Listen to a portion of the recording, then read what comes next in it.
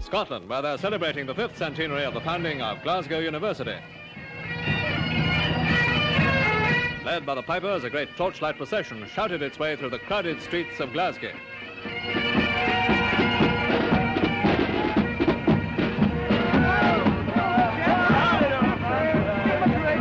Finally, the students threw their torches at a bonfire, but from reports from their doings at St Andrew's Hall, they had a lot of other ammunition up their sleeves.